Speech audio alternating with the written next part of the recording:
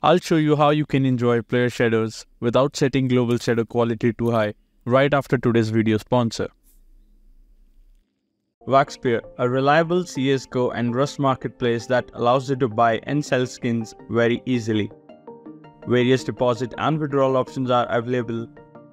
Check the link in the description below. So a user called Uffington MacG posted this trick on Reddit that if you change one line in cs2 video.txt file, you can have player shadows while keeping global shadow quality to low.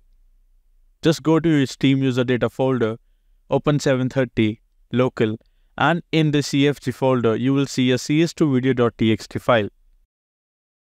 Scroll down and find enable shadow casting. Just set this value to 1 and you are good to go. Make sure not to change video settings after doing this or this will reset automatically. I hope you liked this trick. Subscribe for more CS2 content.